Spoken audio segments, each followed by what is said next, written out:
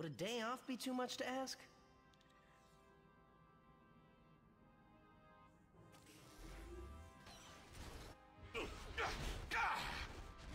Hey Ben, Orange, I glad to see you.